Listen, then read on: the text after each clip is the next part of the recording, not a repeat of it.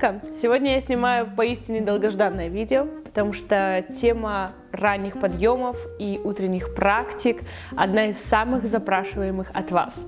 И чаще всего я получаю одни и те же вопросы. Как начать вставать рано? Как мотивировать себя, чтобы проснуться раньше и сделать для себя что-то полезное или вообще что-то сделать? И если сразу так на чистоту, то это вообще не те вопросы, с которых нужно начинать эту тему. Потому что если, а точнее, когда у вас появится четкое понимание, что вы конкретно делаете утром и самое главное, зачем, что вам это приносит, какие плоды вы получаете, у вас не будет появляться вопроса, как заставить себя встать с кровати.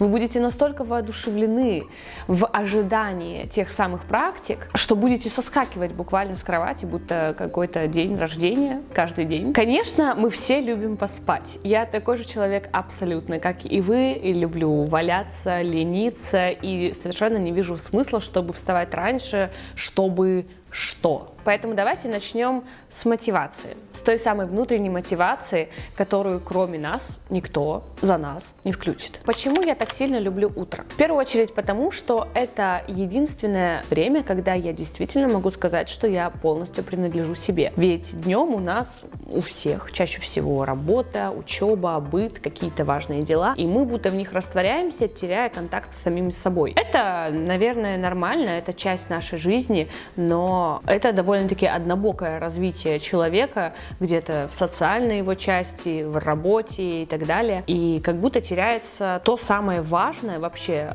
ориентиры, приоритеты, цели, все то, что вы делаете только наедине с собой. Вечером обычно не хватает ни на что сил, энергии, то есть это уже, можно сказать, подготовка к расслаблению, ко сну. И уж точно это не время какого-то внутреннего заряда, подъема энергии и ощущения чистоты, той самой чистоты, чистого листа, которое мы все ощущаем по утрам. Если, конечно же, мы проснулись не в попыхах, там, выключая будильник и понимая, что все уже на свете опоздали. Нет, нет, я про то самое осознанное пробуждение, когда у тебя утром времени достаточно на все. И в этот момент ты максимально себя ощущаешь частью природы, частью этого мира, солнце встает. Пока что вся эта суета еще не началась, люди не начали там выходить из своих домов на работу, куда-то еще. И есть вот этот воздух, есть это пространство, мне кажется, это действительно какая-то другая энергия, которую лично я точно чувствую. Может быть, я это себе придумала. Короче, если вы такие же тронутые, как и я по утру, то это видео для вас. Вероятно, не всем кайфово по утрам, у кого-то безумно вдохновляющие ночи, хотя я считаю, что это все равно немножечко определенный сдвиг наших биоритмов. Мы существа такие что ночью мы спим. Мы не хищники, которые по лесу уходим и можем видеть в темноте. Ну, то есть чисто биологически, физиологично оно не для нас. Ночь не для нас. Возможно, на краткосрочный период, да. Я сама довольно большой отрезок времени своей жизни по ночам монтировала, и мне вообще безумно нравилось проводить это время в творчестве, но я понимаю, анализируя, я понимаю, почему. Потому что у меня было чувство, что все спят. То есть как раз-таки та самая тишина, которая, по сути, по утрам тоже есть, но у меня было ощущение, что вот все уснули у меня дома, наконец-то я могу потратить время на себя. И я думала всегда, что я сова. Я думала, что я сова. Я по выходным могла спать до 11 часов. И давайте уже переходить к самому интересному. В этом видео я хочу показать и рассказать о нескольких видах практик, которыми я занимаюсь по утрам периодически, время от времени. Не всегда у меня происходит весь мой вот список этих занятий, не всегда я по всем пунктам прохожусь, но это то, что я для себя уже вот оставила. То есть, попробовав разное, поняла, что вот для утра мне подходит это. Если так, в общем и целом, все они помогают настроиться на день, очистить разум и поймать контакт с телом. Как по мне, этих последствий, этих плодов достаточно, чтобы быть замотивированным просыпаться и выполнять их. Для меня в идеале, чтобы в моем распоряжении с утра был чисто мой час. Это тот час до момента, когда я уже начинаю собираться в рабочий день, готовить для всех завтрак, собирать его в садик, то есть выполнять уже довольно-таки рутинные вещи, которые и так изо дня в день нужно сделать перед выходом, например. Разумеется, я довольно гибко и адаптивно подхожу к этому моменту, потому что если у меня будет в арсенале всего полчаса, окей, я буду укладываться в эти полчаса. Если Ева проснется раньше, и как бы у меня все, по сути, бессмысленно, потому что я все это делаю наедине, мне нужна тишина, я уже спокойно к этому отношусь. Это жизнь, и невозможно спланировать все абсолютно и заставить, например, человека спать, если он проснулся. Но на самом деле тем ценнее дни, когда у меня происходит все идеально по плану. Я думаю, важно начать с того, что я не беру в руки телефон, не лезу в соцсети, не проверяю сообщения, которые мне пришли за эту ночь, потому что этого и так достаточно за день. Писем, новостей, в целом гаджетов. Единственное, что я могу, это включить мантру, потому что она у меня на телефоне. Я могу сделать фотографию, если знаю, что в будущем, например, захочу поделиться какой-то цитатой у себя в сторис или в телеграме. Но я не ухожу в этот процесс публикации, монтажа, чего-то еще. Я просто делаю, фиксирую, например, фотографию и все, больше телефон не использую. Потому что моя самая главная задача с утра — это избавиться от суеты в голове. Точнее, не то, что даже избавиться, ее пока еще нет не допустить появления суеты как можно дольше. Первым делом я иду пить воду, я пью сразу же где-то два стакана теплой воды. Это и организм пробуждает, и у меня это просто механическое действие в те дни, когда я не особо воодушевлена вставать. Об этом я чуть позже расскажу, но спойлер, не каждый день вам захочется вставать. Если что, энтузиазм заканчивается в какой-то момент, и где-то ты уже себя, конечно, вытаскиваешь из кровати. И вот этот механизм действий, который у тебя в голове прописан, он очень важен, потому что если ты, опять же, просыпаешься без должного мотива, мозг найдет тысячу и одну причину остаться обратно в кровати. И вот эти вот маленькие действия, шажки, которые повторяются изо дня в день, они очень выручают, потому что ты как будто заставляешь себя механически их сделать, но от этого, как следствие, ты действительно просыпаешься.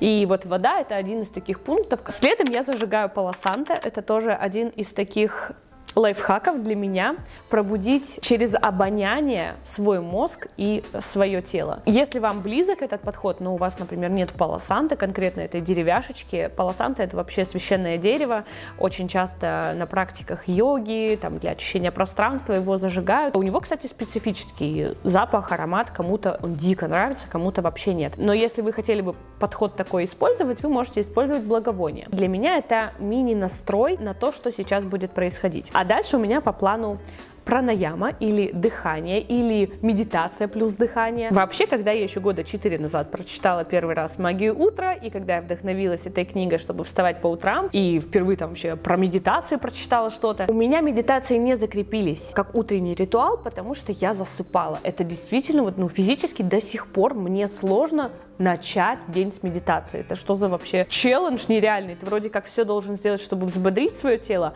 а на медитации ты закрываешь глаза, начинаешь дышать, улетаешь, и ты реально можешь уснуть. Поэтому я, можно сказать, преобразовала эту практику, практику медитации в пранаяму, то есть дыхание с медитацией. Это буквально две минуты осознанного пребывания в сейчас, в своем теле, в пространстве, которое тебя окружает. Ты за это время можешь отсканировать свой организм на какие-либо ощущения, потому что мы это очень редко делаем в течение дня. Чаще всего мы не замечаем сигналы нашего организма, а с утра, когда все чувства обострены, когда у тебя есть время на это, выделенное тобой же, как по мне, очень классно с этого начать. И да, у меня это всего две минуты. Если дольше, я уже начинаю слишком расслабляться, и тогда сложнее меня потом как-то вот раскрутить. Это дыхание с чередованием ноздрей, когда ты вдыхаешь то через левую, то через правую. Выдыхаешь то через левую, то через правую. В йоге считается, что левая сторона человека отвечает за женское начало, правая сторона за мужское начало. И поэтому такое дыхание, если его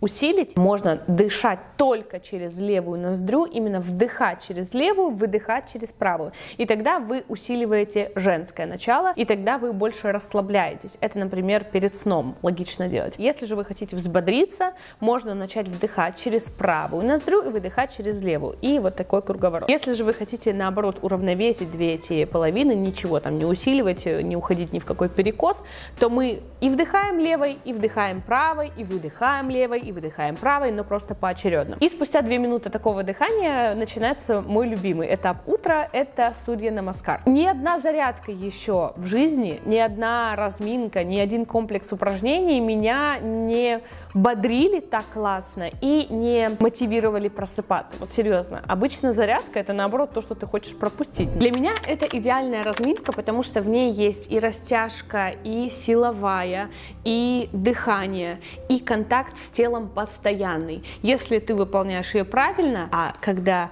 я получу сертификат на преподавателя по йоге, я обязательно с вами поделюсь этим комплексом со всеми подробностями. Но пока что вы можете в интернете спокойно найти, в YouTube забить Сурья Намаскара комплекс и делать его так вот по YouTube. Но я очень хочу записать этот урок, да и вообще как бы в целом начать записывать для вас практики, потому что, кто не знает, на YouTube-то я не делилась. Делилась я только в запрещенной экстремистской сети и в Телеграме у себя, что сейчас я прохожу обучение на преподавателя по йоге йоги.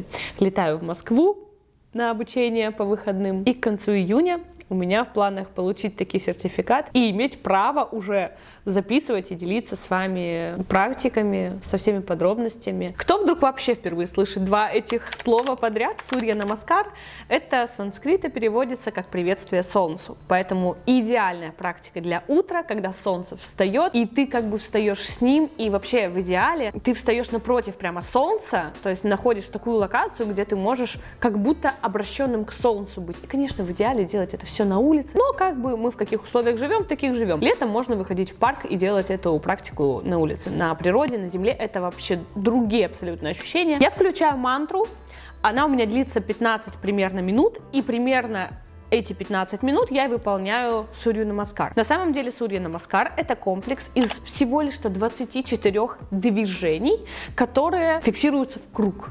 То есть это, можно сказать, один круг, 24 движения. И сколько кругов ты этих сделаешь, зависит от тебя, твоего сегодняшнего желания, количества энергии, сил и так далее. Почему еще для меня это идеальная практика? Потому что как раз-таки я могу наращивать темп сама, начиная с очень медленного, потому что, ну, ты только проснулся, ты сейчас не можешь сделать складочку сразу же. Тебе нужно как бы вот все движения почувствовать, потянуться мягко, плавно. Еще и каждое движение, если вы правильно выполняете, оно сопровождается вдохом или выдохом. Поэтому Поэтому первый круг и мой последний круг это два абсолютных разных круга. И по длительности их выполнения, и по моей уже растяжке. То есть к концу, конечно, у меня получается уже намного лучше. И вообще, можно сказать, в конце это как единый танец, где плавно из одного движения, из одной асаны в другую асану ты переходишь. После этой практики у меня прям энергия, выплеск невероятный. Я уже точно окончательно просыпаюсь, и можно идти в душ, выполнять все гигиенические свои процедуры. На самом деле уходовые процедуры для меня это тоже отдельная практика, на которой я хотела бы подробнее остановиться, потому что особенно после рождения Евы, конечно же, я начала очень ценить это время, казалось бы, банальное нанесение крема на свое лицо. Наш закон вселенский, когда у тебя чего-то мало или когда тебя лишают чего-то, ты начинаешь ценить сильнее и видеть в этом какой-то смысл более глубокий. Потому что на самом деле это точно такой же контакт со своим телом. Пока намазываешь себя, например, кремом, мысли вообще в другом где-то месте, или же ты ловишь каждое ощущение и выражаешь чувство благодарности своему телу за то, что оно просто у тебя есть, за то, какое оно у тебя уникальное от природы. В общем, я прям люблю эту практику, чтобы в нее погрузиться, если это особенно утро. Начинаю я с сухой щетки. Это такой самомассаж, не очень долгий. Я еще сильнее, получается, разгоняю лимфу. После Сурьи Намаскар, в принципе, там уже все хорошо разогнано. Улучшаем кровообращение наше, избавляемся от мертвых клеток. Минутки две, наверное, перед душем точно занимает. Далее у меня это душ. Тут у всех один и тот же механизм действий. Правда, последнее время я очень полюбила а, скраб с промасленными частичками, потому что это такой лайфхак для меня после душа я в итоге не наношу ни масло, ни крем. У меня очень увлажненная кожа, потому что сам этот скраб пропитан маслом. Это очень крутой продукт, я считаю. Для меня это открытие, потому что раньше у меня скрабы были именно такие сухие, и после них прям наоборот хотелось как будто кожу пожалеть. Ну а теперь поподробнее про уход за лицом. После сна это всегда либо гель, либо пенка, которая просто очищает кожу. Мицеллярка нам, конечно, не нужна. Далее использую тонер, чтобы нормализовать уровень pH. Наношу сыворотку и крем. Обращайте внимание, чтобы ваш дневной крем обязательно был с SPF защитой. Мне очень нравится крем у Дальбы. Вы знакомы с этим брендом, конечно же. Это просто любимчики моего канала. SPF защита у него очень мощная, но при этом наносится не очень плотно и не оставляет липкого слоя вот этого противного. И мое лицо увлажнено, защищено и даже подготовлено к макияжу. Но макияж я наношу далеко не каждый день и особенно не в рамках этого моего часа, который я очень ценю. А мы переходим к следующей практике. Не обязательно выполнять практики в таком порядке, как я рассказываю. Можно вот, например, только прям с этого начинать свой день. Кому-то так захочется. Практику можно назвать как письмо, но вообще это абсолютно разные направления, то, чем можно заниматься в качестве письма как раз-таки. У меня ощущение, что я вам как-то раз уже показывала этот дневник. Дневник называется 6 минут. Вам не обязательно покупать такой дневник. Я могу вам сказать э, эти три вопроса, которые нужно задавать себе каждый день. Вы просто их выпишите себе. Но, конечно, здесь классно, что ты можешь поставить дату, ты потом можешь пролистать, что было до. Это, можно сказать, дневник-книга, потому что первая часть — это мотивирующее такое начало. Три пункта. Первое. Я благодарю себя за то, что... И дальше идет три моментика. Ну, про благодарности на своем канале я уже говорила десятки раз, наверное. Не буду повторяться, к чему это приводит нас, какими людьми нас это делает, что это вообще за практика и кого можно благодарить, и можно ли кого-то благодарить. И второй вопрос, что сделает сегодняшний день замечательным? И третье, это твоя положительная установка на этот день. Здесь может быть какая-то настройка такая, которая тебе поможет в сложной ситуации или в неоднозначной ситуации, как среагировать на нее. И ты как бы заранее как будто готовишь свой организм, что да, такое возможно. И если что, даже этот негативный опыт я смогу обратить во что-то позитивное. Ну, условно говоря. Еще классная письменная практика называется утренние страницы. Ты когда ты выписываешь все, что есть в твоей голове, все твои мысли, которые тебя беспокоят, сомнения, страхи. Это очень терапевтичный, классный способ, который советуют психологи, который точно освобождает твою голову от ненужного. Кому-то прям круто, наверное, зайдет идет, но вот не мне. У меня эта практика все время не фиксируется на долгое время, и я поняла почему. Мне долго писать. Мне просто долго писать, а я человек, который любит поговорить. Я не люблю текстом выписывать мемуары. И что вы думаете? Я заменила эту практику на практику под названием утренний диктофон. Ты делаешь то же самое, что и с письмом, только в этом случае ты наговариваешь в диктофоне или, кто не знал, в Телеграме есть чат с самим собой под названием «Избранное». Туда, например, можно что-то сохранять. Если вы хотите сохранить какую-то информацию в текстовом виде, не нужно ее пересылать своему другу, как часто бывает. Я у тебя сохраню этот пост или просто в нашей переписке сохраню эту фотку. Ты можешь это делать в переписке с самим собой и никому не спамить. Я обожаю эту функцию, потому что когда мне приходит какая-то идея, и у меня нет ни времени, ни желания расписывать по буковкам, такое ощущение, что мои мысли быстрее, чем мои руки, чтобы писать. Поэтому я люблю говорить. Ну да, собственно, это видно. Я веду канал, именно видео канал, а не просто блог какой-то текстовый. Наговариваем вот так вот. Точно так же все свои мысли, страхи, опасения, как будто ты записываешь своему другу, подруге, психологу, у которого нет, например, и освобождаешься от огромного количества шума, информации, которая у тебя в голове. Сто процентов проговаривая это, ты найдешь ответ же на свой вопрос. А еще это очень классный тренинг выступления,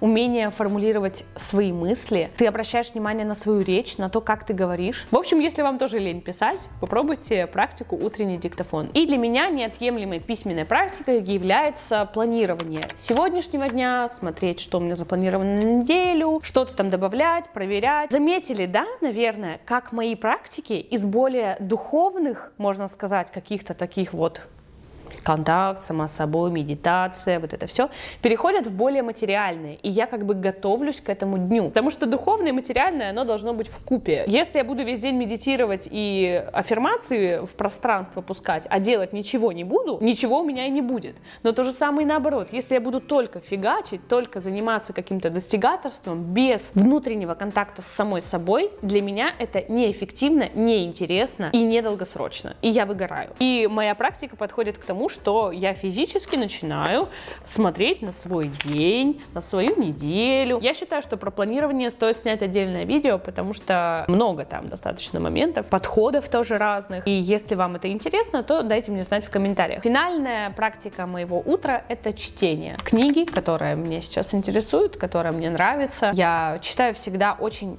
активно в плане выделения маркером, каких-то заметок. Мне нравится с вами делиться, высылать какие-то скрины, потому что это я лишний раз еще обращаю внимание на эти цитаты, и вам тоже классная информация, вам не нужно читать всю книжку, но может быть какая-то цитата, особенно с утра, если я отправляю, прям как-то воодушевить на день. Кто-то любит читать по вечерам, у меня это вообще не получается, потому что, может, у меня есть ребенок, и не выходит так, что у меня есть даже 15 минут, когда я могу сама почитать. Скорее, я читаю детские книжки с Евой. Сразу скажу, в начале энтузиазма у вас будет много.